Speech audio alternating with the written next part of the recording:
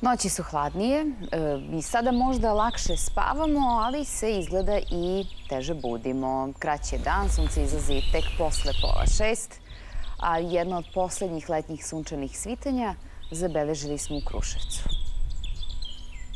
Možemo i da uživamo u njemu.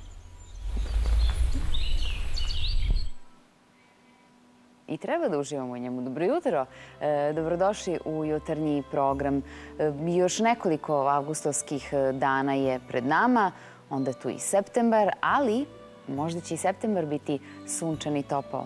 To možda zna Sandra. Odmah na početku idemo mi do nje. Sandra, dobro jutro.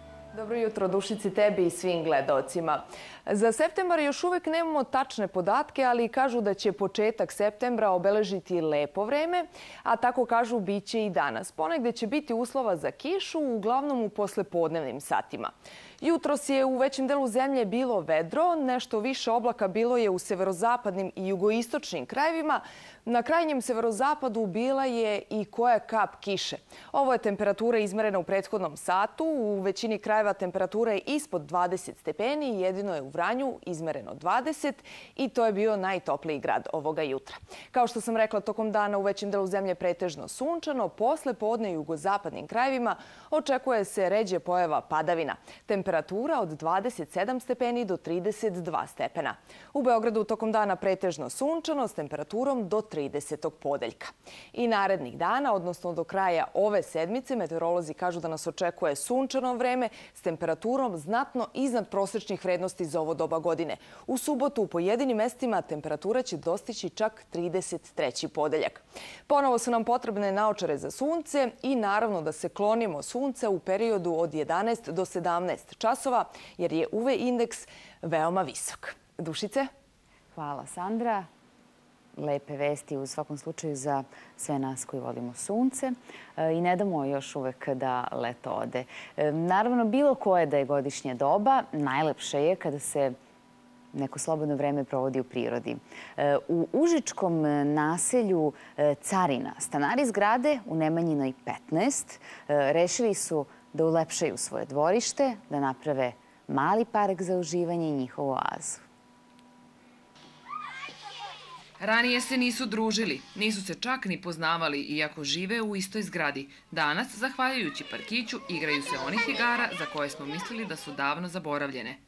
Igram se žmurke, šuge, između dve vatre. Igramo se na kućici, tobogan se vozimo i juja, sa jujom. I ovaj, mislim, jujamo se. Igramo se lukave lisice, šarenih jaja, ponekad šuke i penjamo se gore. Na malom prostoru našlo se mesta za klupu koja okuplja stanare, kućicu sa toboganom i dovoljno prostora za igru. U današnje vreme kad redko imate obezbeđen parking ispred zgrade, ovo mi smo sebi dozvolili luksu, znači da napravimo ovako neki kutak.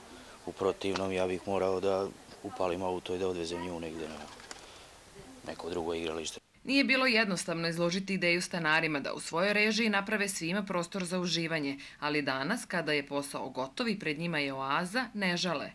Logično za mene je bilo rešenje to da nešto nađemo, obzirom tu ima dosta male djece da imaju neki svoj prostor gdje mogu da se igraju. A ne samo oni, jer ima tu i stariji ljudi koji nemaju gdje da izađu, nemaju gdje da sjednu. Dosta ljudi nema ni terasu. Uz dobru volju pronašli su način, ali kako kažu, tek im predstoji posao, jer sledeći projekat im je da naprave zajedničku prostoriju u zgradi gde će moći da uživaju i malo starija deca. Tako je u Užicu. E, pretpostavljam da i Pančevo ima jedno od svojih e, parkova i oaza. Goran Jovičić nam se ovog jutra javlja iz Pančeva. A Gorane, dobro jutro. Dobro jutro, Dušice. Tako je i mi brojnih, brojnih oaza i brojnih parkova. Ovog jutra u Pančevu je veoma prijatno, 17 stepeni je i duva pomalo i vetar. A koliko će nam danas biti zaista vruće, zavisi i od poljoprivrednika koji su za danas najavili i protest upozorenja i to od 8 do 11 časova. Na ovaj korak, kako su nam rekli, su se odlučili jer su im uljari smanjili otkupnu cenu suncokreta sa 43 na 36 dinara. Jovica Jakšić, predsjednik upravnog odbora ove asocijacije, nam je rekao da će traktoristi danas u svojim mestima obaviti tu protestu vožnju upozorenja. I to u Južnom Banatu, u Bravičarskom okrugu i u Šumadijskom okrugu. Predstavnici ove asocijacije oči su imali i razgovor sa podpredsjednikom vlade Rasimom Ljajićem i očekuju da im i on pomogne u ovim pregovorima. Vidjet ćemo koliko će biti ovi pregovori uspešni. Vidimo se ponovo za pola sata sa nekim lepšim temama iz pančevačkog zdravstva. Dušice? Hvala Gorane, vidimo se nešto kasnije. Pre predistavanja štampi i pre muzike još samo jedna informacija. E, dinar će danas neznatno oslabiti prema evru i zvanični srednji kurs biće 120,59 dinara za 1 evro, objavila je Narodna banka Srbije. E, dobro jutro.